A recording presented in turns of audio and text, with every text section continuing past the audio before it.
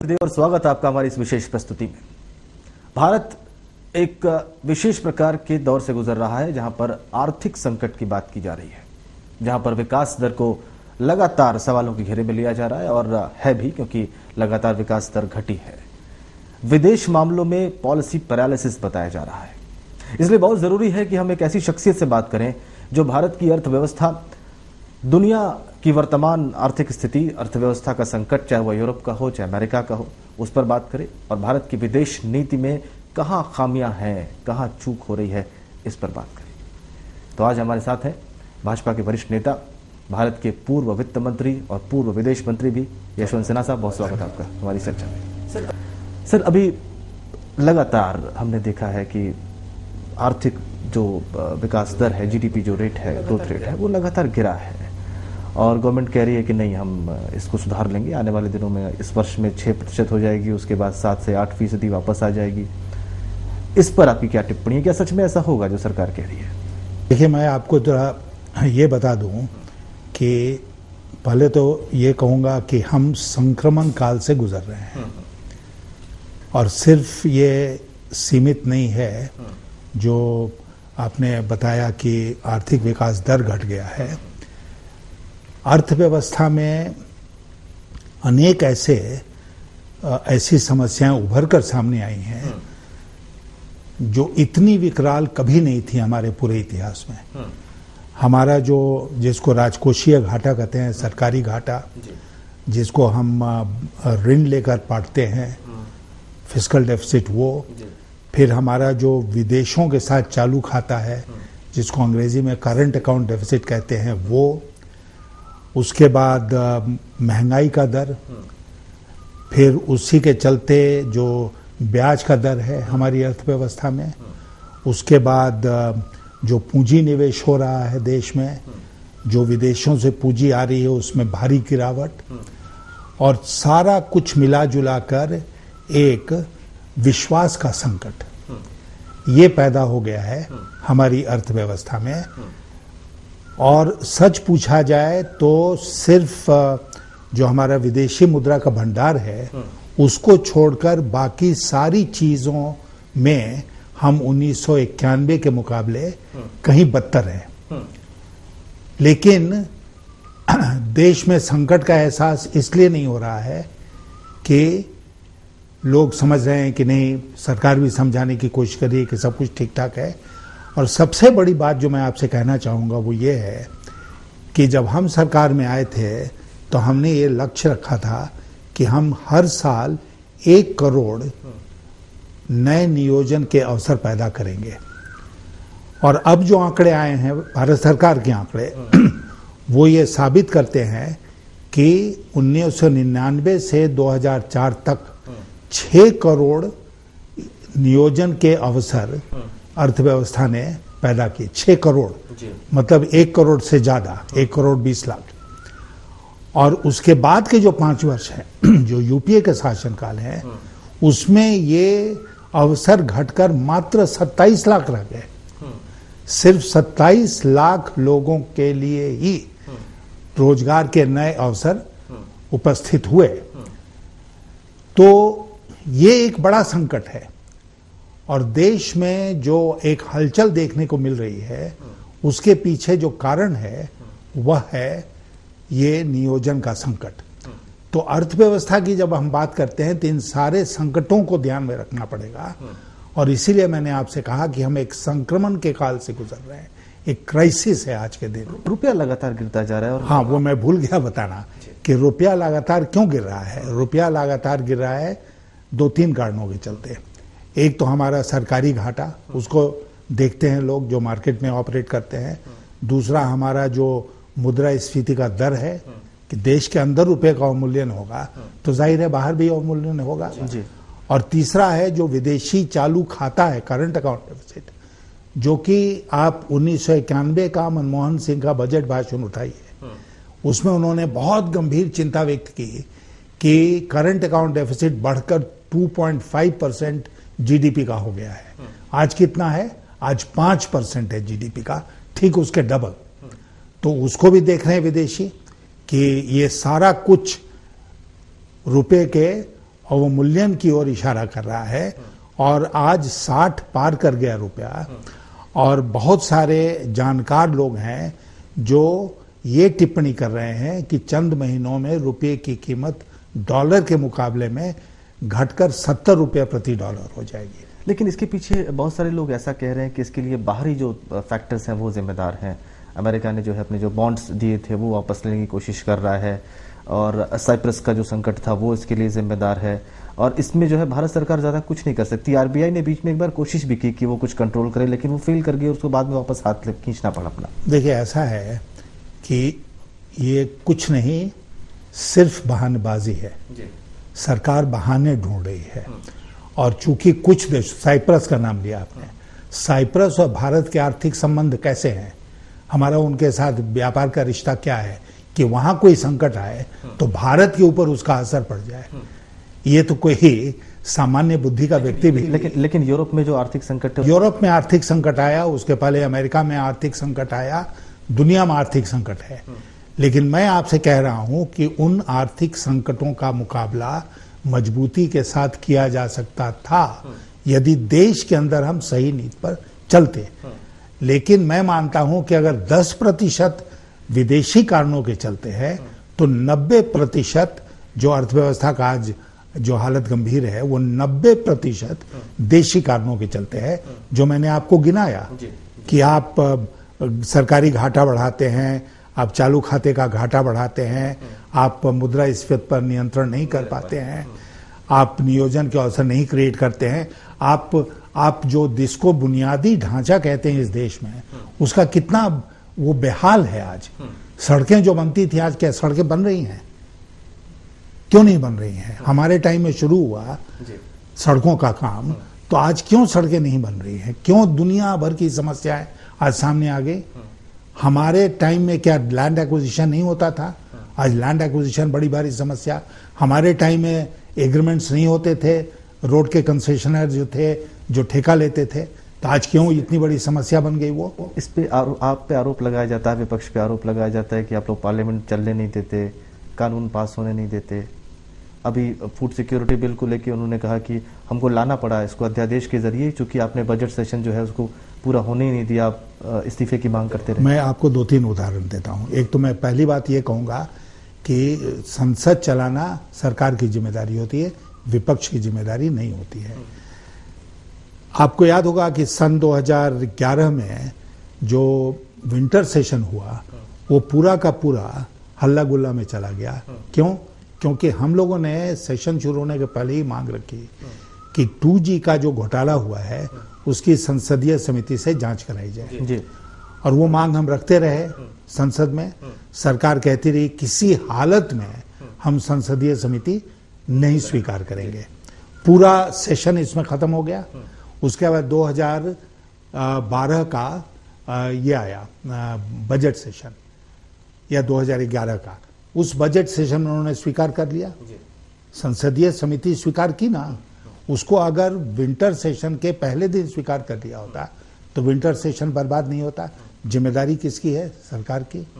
अभी हाल में जो बजट सत्र का दूसरा भाग था उसमें हम लोग क्या कह रहे थे कि इनके दो मंत्रियों के ऊपर गंभीर आरोप थे। पवन बंसल के ऊपर और लेकिन पवन बंसल को क्लीन चिट दे उस पर आते हैं। उसके बाद जो ये उस समय के कानून मंत्री थे अश्विनी कुमार। अश्विनी कुमार जी तो इन दोनों के ऊपर गंभीर आरोप थे। हमने कहा इनका इस्तीफा ले लो। उन्होंने कहा हम किसी हालत में इस्तीफा नहीं होने देंगे।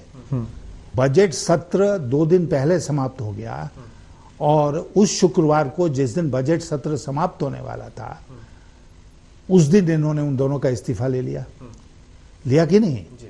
तो अगर पहले ही ले लिया होता तो सत्र चलता सब कुछ होता फ़ूड सिक्योरिटी बिल भी पास होता लेकिन सरकार जो है वो अड़ियल रवैये पर कायम रहती है जब सत्र चलता होता है। और सत्र खत्म होता है तो उसको अकल आती है और वो हमारी बात मान जाती है। तो हम कहीं किसी बिल को नहीं रोक रहे हैं। हम ये कह रहे हैं कि अगर हमारा या दूसरे दलों का कोई एतराज़ है तो उनसे बात करोगे ना? प्रणब मुखर्जी ने कहा था कि लोकतंत्र और खास करके संसदीय लोकतंत्र की का प्राण है सहमति। और आप सहमति में विश्वास ही नहीं करते हैं।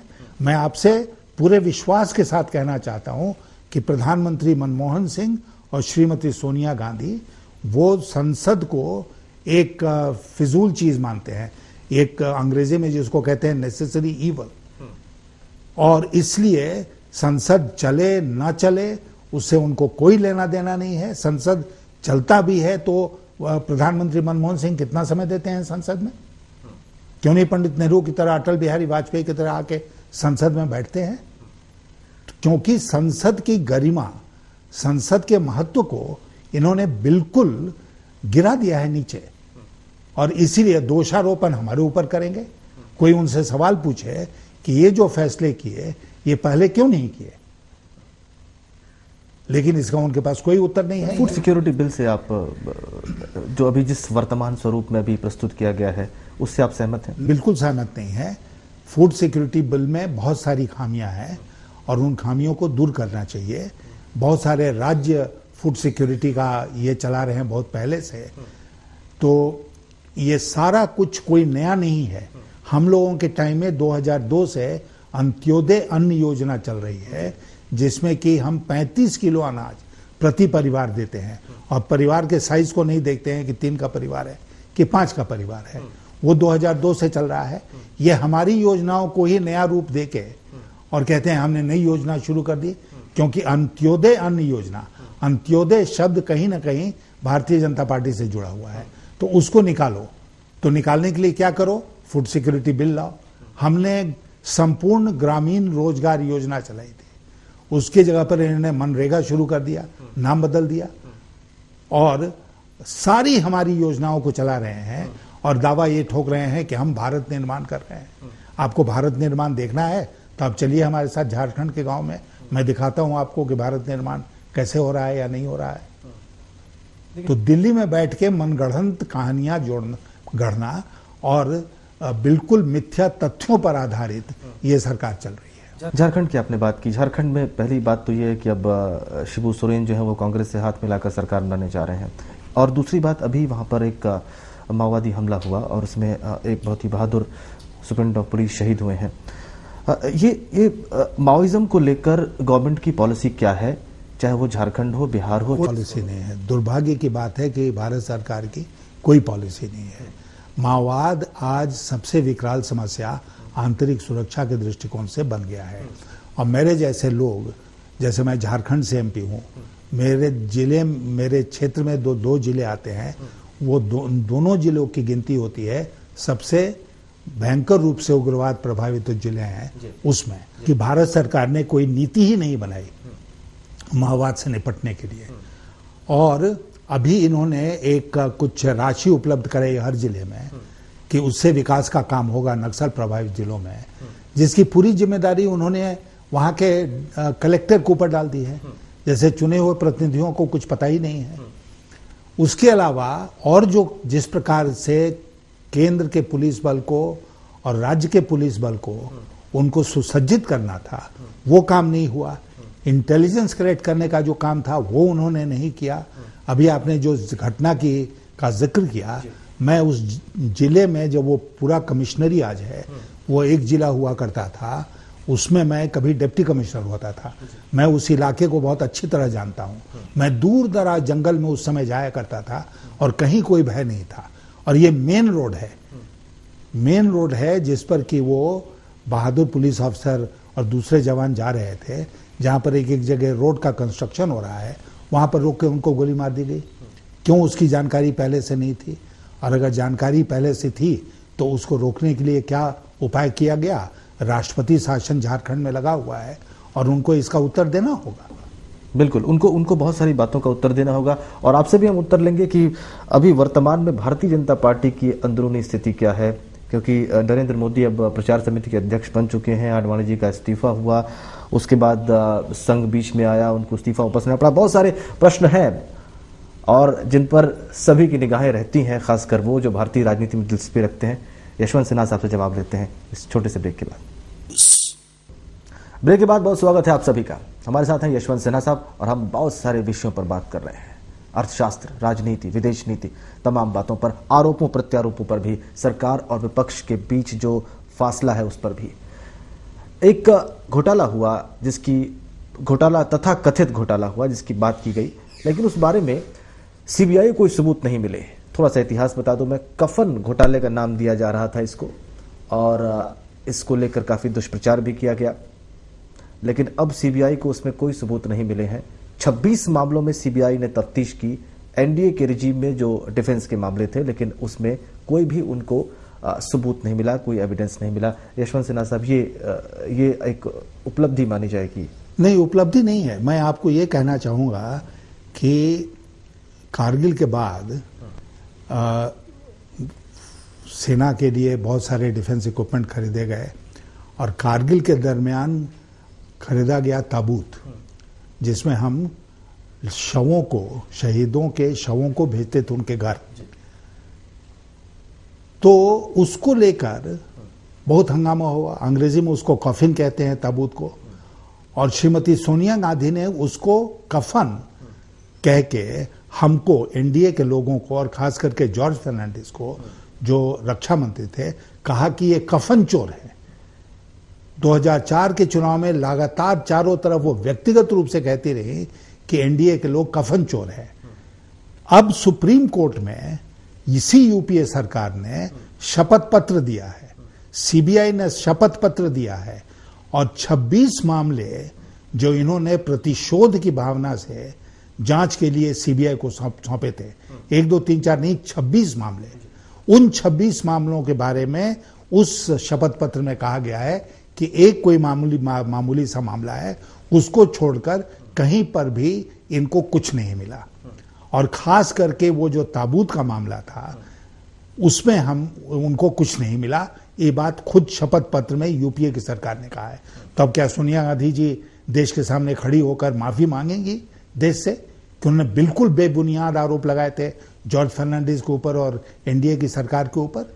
ज़ाहिर है कि नहीं? क्योंकि ये प्रश्न मैं कांग्रेस नेताओं से ज़रूर करूँगा ये मैं ये मैं वादा करता हूँ। क्योंकि ये खबर छपी है और इस खबर को बहुत ज़्यादा प्रमुखता नहीं दी गई है क्योंकि बात पुरानी हो गई। लेकिन जो चरित्र है कांग्रेस पार्टी का उस चरित्र को ये दर्शाता है और इसलिए ये महत्वपूर्ण है। चलिए उन्होंने आपके खिलाफ दुष्प्रचार किया 2004 के लोकसभा चुनाव में। आप इस विषय को उठाएँगे 2014 के लोकसभा चुनाव? ज़रूर उठाएँगे क्योंकि इनका जो दामन है वो दागों से भरा पड़ा है। हर चीज़ को ये छूते हैं तो उसमें भ्रष्टाचार करते हैं। और उल्टा हमारे ऊपर भ्रष्टाचार का आरोप लगाया। मैं आपसे बात कर रहा था संसदीय समिति का। संसदीय समिति जो बनी टू जी घोटाले के लिए उसका क्या हश्र हुआ? इन्होंने एक मामले को लेकर हम लोगों की सरकार जो थी उसके ऊपर आरोप लगा दिया। और उसके बाद उसी उसी आर्गुमेंट को उसी तर्क को देते हुए मनमोहन सिंह सरकार को भरी कर दिया उसी तर्क से।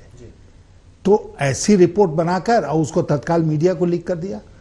तो ये तो इनका मैं जैसे कह रहा था ये इनका चरित्र है। भ्रष्टाचार करो भ्रष्टाचार के ऊपर पर्दा डालो आरोप लगे तो दूसरे के ऊपर आरोप मार दो। विदेश मंत्री भी आप भारत सरकार के रहे हैं।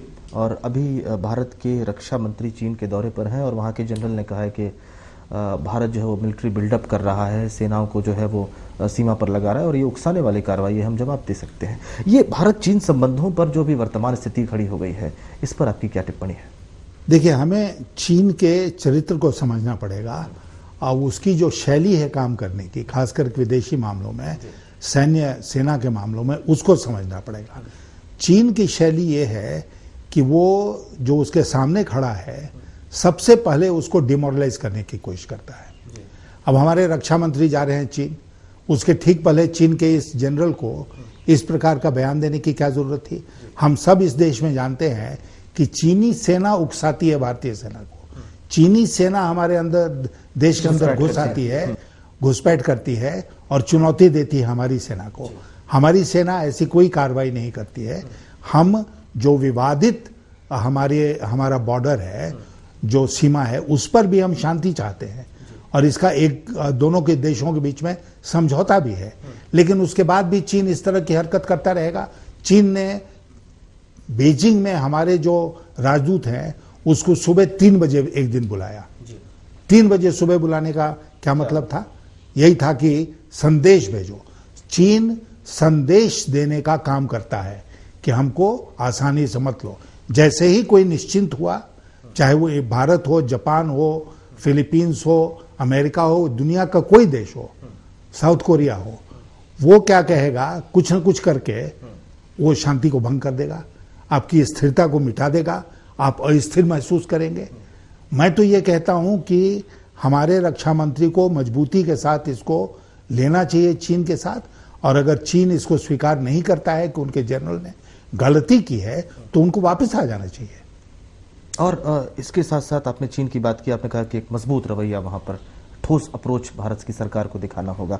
अफ़गानिस्तान से 2014 में नेटो की फोर्सेज और अमेरिकी सेनाएँ वापस जा रही हैं, और अभी अमेरिका ने तालिबान से बातचीत की एक कोशिश शुरू की है दोहा में, और वहाँ के राष्ट्रपति जो है उनको कबूल नहीं है ये सब बातें। इन सब बातों के बीच में भारत जो है वो कहाँ खड़ा है, और हमारे ऊपर क्या असर पड़ रहा है समझ में नहीं आ रहा है। सचमुच मैं आपसे कहूँ हाल के दिनों में तीन घटनाएँ सामने आई हैं। एक स्नोडन जो है उन्होंने भारत में असाइलम मांगा शरणार्थी बनना चाहते थे। भारत ने तत्काल तीव्रता के साथ उसको खारिज कर दिया। दूसरा अमेरिका हमारे ऊपर जासूसी कर रहा है। हमारा जो दूतावास है वॉशिंगटन में उसमें वो उसने जासूसी की। और हमारे विदेश मंत्री कहते हैं नहीं जासूसी नहीं एनालिसिस है। पता नहीं जासूसी और एनालिसिस में विश्लेषण में उनको अंतर क्यों नहीं समझ में आता है? और तीसरा कि ब्रुनई में जाकर जहाँ पर कि एशियन रीजनल फोरम का की मीटिंग चल रही है हमारे विदेश मंत्री कहते हैं कि भारत अब इस पक्ष में है कि अफ़गानिस्तान के सारे लोगों के साथ बात होनी चाहिए उसमें तालिबान भी शामिल है। माने हम बराबर से हमारी नीति ये रही कि तालिबान में अच्छा कौन है और बुरा कौन है इसका फ़र्क हम नहीं कर सकते। पूरा का पूरा तालिबान बुरा है। जी। क्योंकि वो आतंकवादी हैं। और आज हम इस बात के कायल हो गए कि तालिबान से भी अफ़गानिस्तान बात करे। तो कहीं ना कहीं ऐसा लगता है कि अमेरिका का जो लाइन है उस वही भारत की लाइन हो गई आज के दिन। और ऐसा नहीं होना चाहिए। हमको अपने स्वतंत्र लाइन पर चलना चाहिए। आपने अफ़गानिस्तान की बात की। अफ़गानिस्तान के लोगों में भारत के प्रति जो मित्रता का भाव है, वो वहाँ जाने से ही पता चलता है। कि आपको लोग अगर पहचानेंगे, आप कहेंगे कि मैं भारतीय हूँ तो चाय की दुकान में चाय के पैसे नहीं लेंगे आपसे। इतनी मित्रता का भाव है वहाँ पर। और उस देश को हम नहीं छोड़ सकते हैं पाकिस्तान के भरोसे। इसलिए भारत को मजबूती के साथ अपना वजूद बनाए रखना चाहिए अफ़गानिस्तान में और देखना चाहिए कि एक बार फिर वो अफ़गानिस्तान जो है वो तालिबान और पाकिस्तान के कब्जे में न चला जाए। नवाज़ शरीफ पाकिस्तान के प्रधानमंत्री बने और वो भारत से बड़ी मित्रता की बातें कर रहे हैं लेकिन ठीक उसी वक्त ऐसा समझा जा रहा है कि आईएसआई जो है वो अपने नापाक मंसूबों में जो है कामयाब होती दिखाई दे रही है। वो तालिबान को प्रोजेक्ट कर रही है अमेरिका से बात करने के लिए। इधर कश्मीर में घुसपैठ बढ़ी है। तो ये ये समीकरण क्या है इस वक्त में? मुझे लग रहा है कि नवाज़ शरीफ साहब मैं व्यक्तिगत रूप से उनसे जानता हूँ व्यक्तिगत रूप से उन्होंने मुझसे भी कहा है कि वो पाकिस्तान और भारत में मित्रता चाहते हैं लेकिन उनको सेटल होने में थोड़ा समय लगेगा। इसलिए ये जो घटनाएँ घट रही हैं उसके ऊपर उनका शायद नियंत्रण उसी प्रकार नहीं है जिस प्रकार कारगिल में जनरल मुशर्रफ ने पाकिस्तान की फौजों को भारत के अंदर भेज दिया था। तो धीरे धीरे मैं इस पक्ष में हूँ कि नवाज़ शरीफ को अवसर देना चाहिए। और अगर वो भारत से मित्रता में सचमुच में रुचि रखते हैं तो हम आगे बढ़ सकते हैं लेकिन सावधानी के साथ। इससे पहले भी हमने कोशिश की थी और कोशिश? वहाँ पर गए थे। हाँ। और उसके बाद ऐसा लगा कि सब कुछ ठीक हो रहा है लेकिन ठीक उसी वक्त जो है वो कारगिल में सब कुछ हो हाँ बिल्कुल क्योंकि पाकिस्तान की आर्मी जो है वो एक दुष्ट प्रकृति की आर्मी है और वो सिविलियन कंट्रोल में नहीं रहती है। उस समय भी नवाज़ शरीफ साहब प्रधानमंत्री थे और बिना उनको सूचित किए हुए जैसा वो खुद कहते हैं पाकिस्तान की आर्मी कारगिल में घुस आई थी।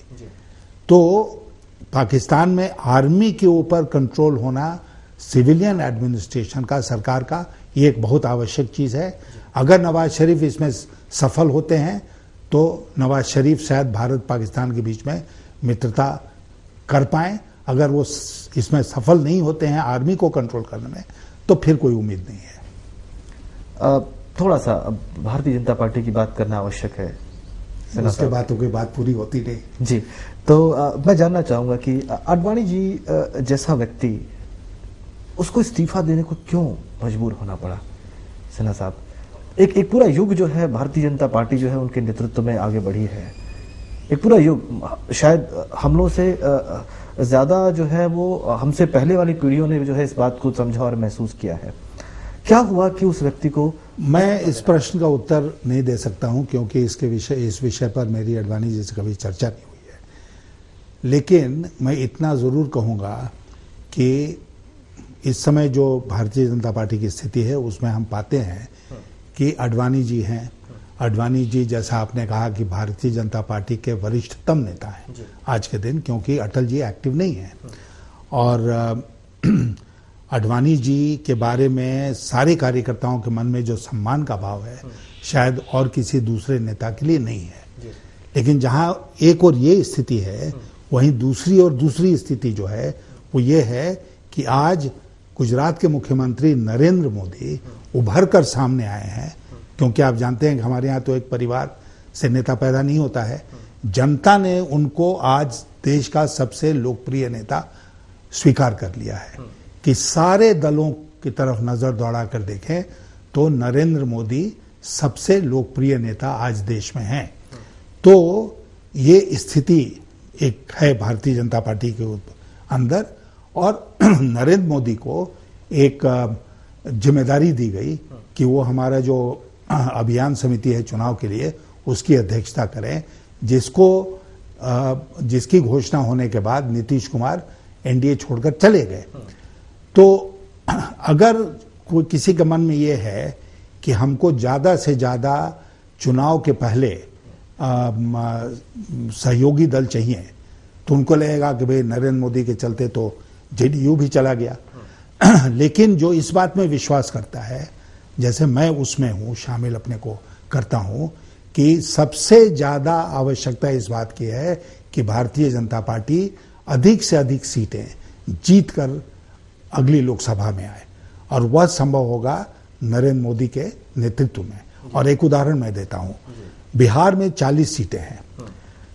जेडी, जेडीयू के साथ हमारा जब तालमेल था तो हम 15 सीट, मात्र 15 सीट लड़ते थे। और जेडीयू 25 सीटें लड़ता था। तो अगर मान लीजिए कब वो अलग हो गए, हम 40 की 40 सीटें लड़ते हैं, उसमें 25 सीट हम जीत कर आते हैं तो भारतीय जनता पार्टी फ़ायदे में रहेगी। कि पंद्रह में हम ग्यारह जीते थे जब बहुत अच्छा था, दिन थे, अब हम ग्यारह से पच्चीस पर चले जाए। उसी प्रकार उत्तर प्रदेश में मान लीजिए कि बहुत ज़्यादा सीटें हम जीतने में सक्षम हो। हम 200 का आंकड़ा, सवा 200 का आंकड़ा पार कर जाएँ नरेंद्र मोदी के नेतृत्व में तो भारतीय जनता पार्टी के लिए इससे और बेहतर क्या हो सकता है? तो भारतीय जनता पार्टी में मुझे लगता है कि इस समय जो सोच है, उस सोच में थोड़ा बदलने की आवश्यकता है। कि अगर हमको अच्छी संख्या में लोकसभा में सीटें मिलेंगी तो हमको सहयोगी दल भी मिल जाएँगे, चाहे वो पहले हमारे साथ आए या ना आए। अगर हमको अच्छी सीटें, अच्छी संख्या में सीटें नहीं मिलेंगी तो सहयोगी दल हमारे साथ नहीं आएँगे। मेरा मत है कि हमको पहले वाले फॉर्मूले पर काम करना चाहिए, ज़्यादा से ज़्यादा भारतीय जनता पार्टी के अपनी सीटें आए इसका प्रयास करना चाहिए। तो भारतीय जनता पार्टी आपके हिसाब से बिल्कुल सही दिशा में चल रही है बिल्कुल सही रणनीति के साथ आगे बढ़ रही है इस वक्त? रणनीति का निर्माण हो रहा है अब और मुझे लगता है कि सही रणनीति का निर्माण होगा खास करके चुनावी रणनीति का।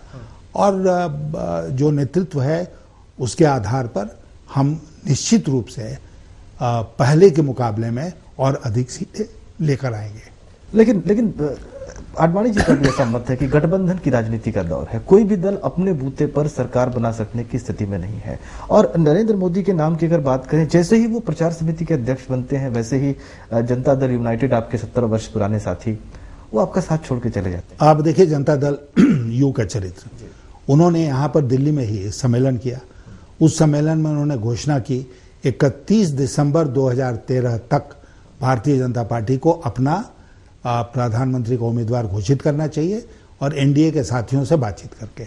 इकतीस दिसंबर डेडलाइन और किसकी घोषणा? प्रधानमंत्री के दावेदार की। जो। घोषणा हुई हमारे राष्ट्रीय कार्य समिति में गोवा में वो घोषणा क्या हुई? चुनाव अभियान समिति का अध्यक्ष कौन होगा? ये पार्टी का आंतरिक मामला है। हाँ, लेकिन जिस तरीके से बनाया गया उस पर नहीं अब बनाया गया तो आप लोग मीडिया में हैं आप लोग इसको बहुत प्रचारित करें। तो हम कैसे जाके मीडिया को कहेंगे नहीं नहीं नरेंद्र मोदी का प्रचार मत करो हम रोकेंगे मीडिया को। कोई ऐसा करता है क्या? इस तरह साहब आप देखिए कि अध्यक्ष का भाषण सबसे आखिर में होता है। और जब चारों तरफ़ नरेंद्र मोदी के नारे गूंज रहे थे वहाँ पर राष्ट्रीय कार्यकारिणी में तो राजनाथ जी ने जो है आखिरी भाषण नहीं दिया, परंपरा के अलग जाकर। और उन्होंने नरेंद्र मोदी से कहा कि ठीक है, मैं पहले भाषण दे लेता हूँ, आप आखिर में दीजिए। क्या बात ये प्रूव करता है? ये यही प्रूव करता है ना, जो मैंने आपसे पहले कहा कि नरेंद्र मोदी न केवल भारतीय जनता पार्टी में, बल्कि पूरे देश में आज सबसे लोकप्रिय नेता हैं। और ये इसलिए नहीं कि वो किसी खास परिवार के माँ के पेट से पैदा हुए हैं बल्कि इसलिए कि जनता ने उनको यहाँ तक पहुँचाया है। तो उसी जनता को आप और चांस दीजिए आगे। वो दिखाए। बार बार बार बार उन पर जो है ऐसा कहा जाता है कि वो एक खास वर्ग को साथ लेके नहीं चलना चाहते हैं वो एक खास वर्ग की राजनीति करना चाहते हैं।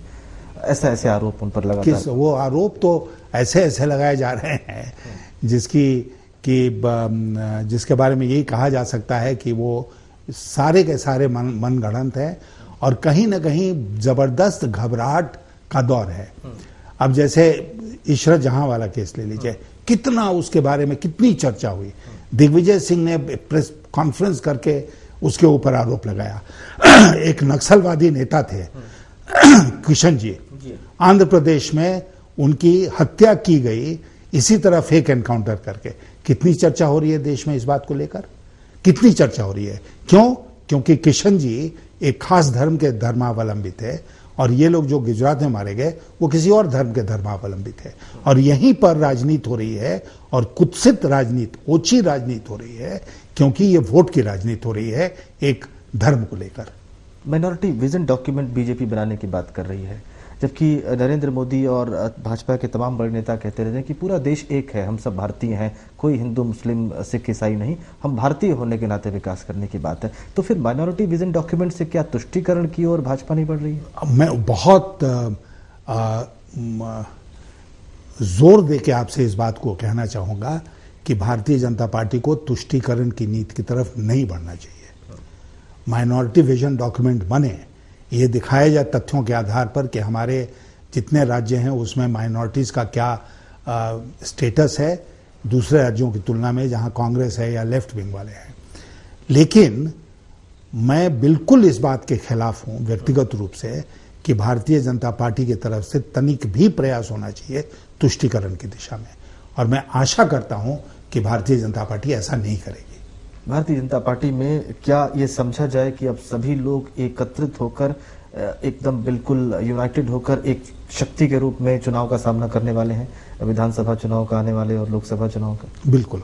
इसमें कहीं कोई ये शक नहीं होना चाहिए क्योंकि जब बाहर के दुश्मन का मुकाबला आदमी करता है तो एकजुट होकर ही मुकाबला करता है। हम्म। हाँ और कोई विभीषण और कोई आडवाणी जी बार बार कहते हैं कि जितने भी एंटी कांग्रेस फोर्सेज हैं उन सबको एक झंडे के नीचे लाने की ज़रूरत है उन्होंने श्यामा प्रसाद मुखर्जी जी का उदाहरण दिया।